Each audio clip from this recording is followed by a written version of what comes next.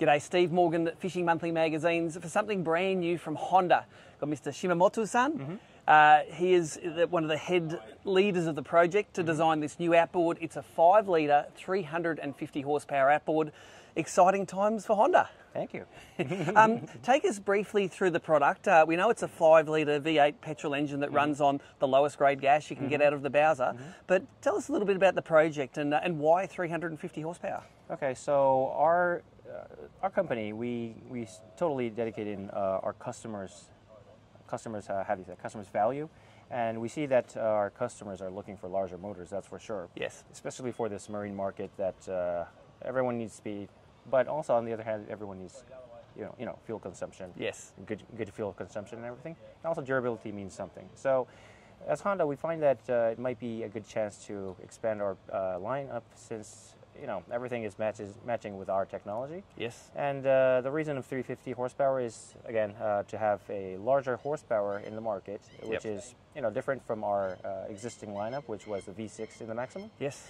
And uh, again, our product is uh, when we're doing the testing, we find that it's quite doing well in uh, quality and also uh, how do you say uh, performance, especially for fuel consumption. And also, you can find that uh, when you have a test ride, the motor, the engine itself is quite uh, very quiet. Yes. Uh, you can find that you could uh, have conversation with your family, with somebody that's on board with you, even though you're with, with your running in cruise speed. Yes. So that's something that is, uh, for myself, I have to say that is quite good. Yes. And uh, yeah, that's kind of it. Is this the first V8 that Honda's made as a company? hmm That's true. Uh, it's actually the first V8 uh, made for mass production because you know we do the racings, but Yes. As for mass production products, uh, the V8 structure itself is totally new. It's uh, totally new for our company, and it's made for marine industry. So outboard motor, which is uh, which is uh, to- totally new from scratch. Well, they, at the launch last night, the big claim was this is going to be a very economical outboard. Economy is one of the pillars that you base the design on. hmm yes. So during the designing, it was uh, the the sorry the fuel uh, fuel rates. I mean, like the fuel uh, price itself, the cost itself was a little bit more cheaper. Yep. the. But as you know, it's it's it's crazy expensive now. Yes. So um, it's actually being a great benefit, great strong point for us, even than uh, we've, we've thought during the uh, production, uh, sorry, production planning stage. Yes. So yeah, that's a great part. We have a few test boats on the water today, single and dual outboard Yeah. setup. So I notice you've got the Optimus steering system on the Yeah. twin outboard, so you can get joystick piloting on it. Right. So uh, during the study of uh, the, the the product product planning, uh, we did find that at those days uh, the joystick products were kind of growing, but we we we, thought that it's going to be a great future for our customers to kind of achieve that um, good experience of having a joystick with uh, easy control Yes. and also. Kind of um, uh, one of the features of that product is that you could uh, stay positioned right, on skyhook stuff. Yes. So that's going to be a great benefit for the customers that use this kind of huge boats. And uh, that's the reason of us to kind of contact with uh, Dometic and also uh, other steering companies so that we could have our BF350 totally compatible with their products so that we could match together because we are uh, suppliers for the boat builders and uh, we're kind of on the same page with them Yes. at the moment. Yeah. Um, tell us a little bit about uh, at the presentation last night. We saw uh, some of the future visions for Honda included uh, self-trailering and auto docking. You know, taking from your car technology. Yeah. That's pretty exciting for a boatie. Thank you. So yes, uh, we find that uh, our company has uh, not only human resources, but we have technology that is automobile proven, and that uh, especially for the autonomous stuff. That Yes. all cars already have that kind of cruise control, but and also like um, navigation, kind of like you know the the autonomous stuff. Yes. So we find that we have a strong point there, and also that uh, the outboard engine itself would uh, remain for a while since the internal combustion engine has the power and also the uh, fuel efficiency at the same time. If we could make the engine um, dedicated for marine outboards. Yep. So uh, that's the reason of uh, kind of uh, aiming for a future to have that kind of uh, autonomous product to the market that uh, um, how do you say, uh, achievable for customers that will have a easy boating Yes. experience. Yes. So yeah, that's the reason. Um, finally, Honda been making uh, four-stroke outboards since 1964. It's what 60 years now you've been making it. Sure. Um, tell us a little bit about the trajectory of Honda. Um, you're looking to get back into the marine market in a big way, aren't you? So again, uh, from 1964, we were the kind of um, the challenger to entry the outboard outboard, mo- uh, outboard engine market Yep. with the four-stroke engine, which uh, at the moment two-stroke was dominating uh, the market, and uh, we were uh, our founder Honda Soichiro was uh, totally how do you say um, deeply thinking about the environment from 1964, Yes. which is Ahead quite- of his time. yeah, it's, it's, it's a very, how do you say, a future mind, Yes. I guess. And so um, it's been six years now. Uh, we are expanding our motor since, uh, outboard uh, horsepower range since. Yes.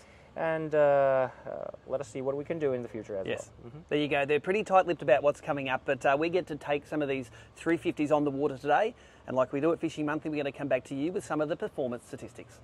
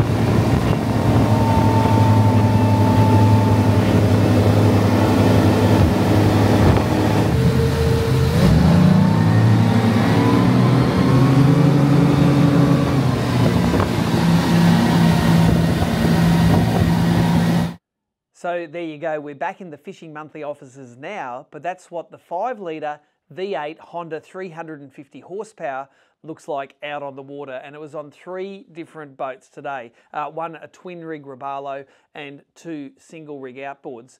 Um, and we've managed to dig up some of the performance stats. It was a little bit sort of busy out there to actually grab a boat and spend 20 minutes doing the performance stats ourselves. But I've dug up on this brochure they gave us on the day some of the performance stats on a Stabicraft 7.6 metre cabin boat running a 16 inch uh, diameter propeller, 18 inch pitch. Um, best economy on that rig, 3,000 RPM, 36 kilometres an hour, and what I think's a fairly great economy of 1.42 kilometres per litre burned.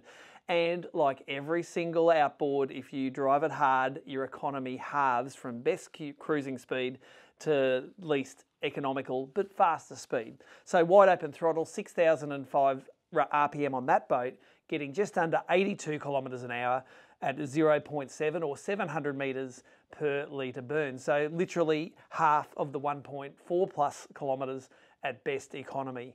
Um, subjective things like is the motor quiet? Yep. Does it vibrate a lot? No. It's uh, it incorporates incorporates a lot of the technology to keep this uh, a quiet outboard. Of course, modern four strokes you expect to be quiet, and that Honda doesn't disappoint. But for me, the most exciting thing about Honda is the enthusiasm that the Honda staff have for I think the revamping of their range. They wouldn't give us an indication of whether it was revamping upwards in horsepower or actually renovating some of the smaller horsepowers that Honda owners have come to know and love over the years. So I suppose the next four or five years we'll see which way that direction is heading and what models come out with the new aesthetic and the new technology behind it. So there you go, the new V8 Honda 350. It's a thing and it's now available in Australia.